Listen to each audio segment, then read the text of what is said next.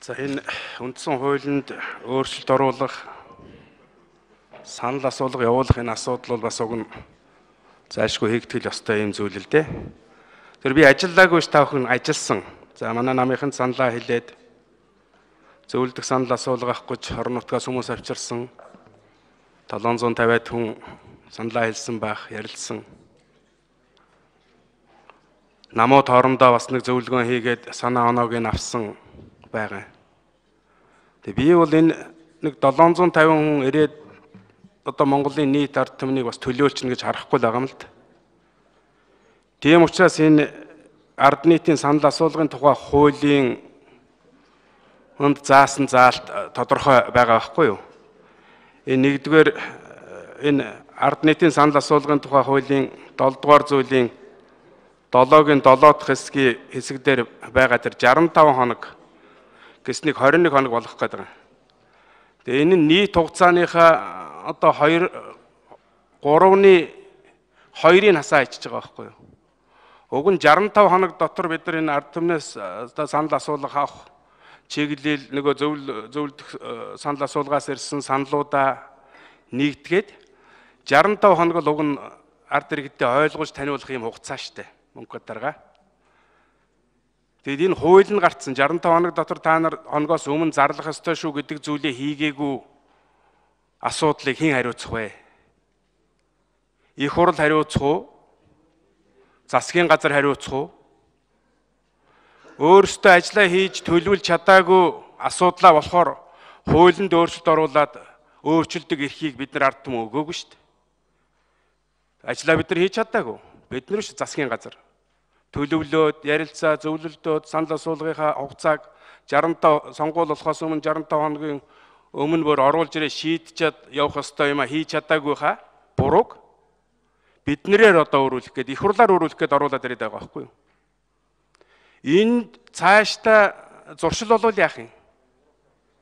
Би дараагийн одоо сонгуул 20 онд болохгүй дөхөөр эдийн засаг хүнд байгаа учраас их хурлын одоо сонгуулийг хойшлуулъя гэд арай асуудал ороод ирэхгүй байгаа даа. Бидэнд ийм дур зоргоороо ажиллах эрхийг ард түмэн өгөөгүй байх. Нөгөө хууль хэрэгжүүлэх гээд явж байхад нь хуулийг хэрэгжүүлэхгүй байвал яах юм? Татвараа төлөө гэхээр өө энэ хугацаа нь одоо хэцүү байгаа учраас бид нар болохгүй нэ гэсэн ийм асуудал яриа сууж байвал яах юм бэ? Тэг учраас би бол энэн дээр эхний ээлжинд бол хариуцлагатай зохицохтой асуудал ярих хэрэгтэй байх. Хоёрдугаарт нь зөвлөдөх санал асуулга аваад намуу зөвсөлчжээж парламентод суудалтай За бас суудлагүй байгаа намуудын саналуудыг нэлээд олон талаас нь авах ёстой. Өнөөгийн байдал энэ хуралд байгаа одоо та бүхний ярьж байгаа хэлж байгаас харахад бол танаа намынхан ч дотроо нам дотроо нам байтгаа энэ 65-ын бүлэг дотроо ойлголцолд нэг усан хүрээгүй байгаа энэ зүйлийг хийх хэрэг байгаа мó үгүй юу гэж би хэлэх гээд байгаа юм. Монголын ард түмэн чинь санамж их сайтай. Бас хэрсүү та нар хууль өөрчилдөг юм бол бид нар тэр санал асуулганд чинь орох уугүй юу гэдгийг асуудлаа ярилцаад явчихна шүү.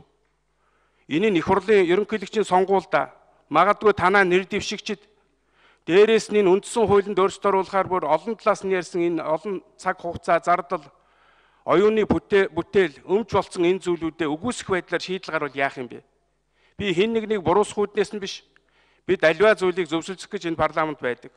Намууч бас тийм байдлаар ажиллах хэрэгтэй. Тийм учраас энэ намуудын хоорондын ойлголцол парламент судалтай гэж төрөмгөлээд нэг гурван нам ярилцаач оруулж болохгүй. Энэ одоо Монгол улсын хуулиар бүртгэлтэй байгаа энэ 20 гаруй намуудын санаа оноог нь аваад энэ ажлын хэсэгтээ бидэд татаж оруулж ягаад Монгол бүхэлдээ нэг зүг рүү нэг чиг рүү хандсан энэ тохиолдолд тавих гэж байгаа саналуудаа тэгээд ард түмнэрээ яриад хэлцээд явахдаа баг намуудын төлөөлөлтөд яваад ойлголцоод хүнд ойлгуулаа суурийн зөв тавьчих юм бол бидний энэ хууль цаашдаа ам бөхтэй урт хугацаанд хэрэгжих үр дүнтэй ийм л зүйл болно шүү дээ.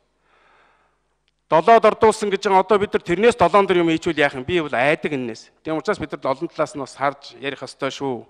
Тэгээ та нар мэдээж хэрэг одоо олонхороо конопт архал байх.